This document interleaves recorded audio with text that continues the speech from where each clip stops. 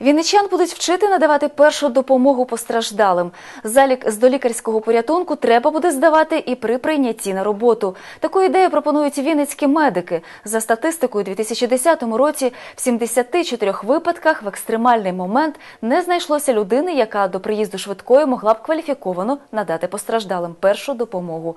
Втім, до 60% хворих і потерпілих можна було б врятувати, говорить головний лікар швидкої допомоги Валентин Фіщук.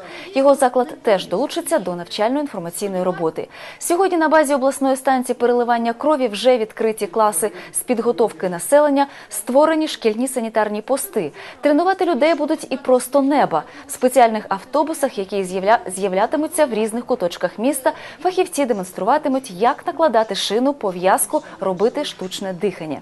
Про все це розповіли журналістам сьогодні, 9 вересня, за круглим столом лікарі.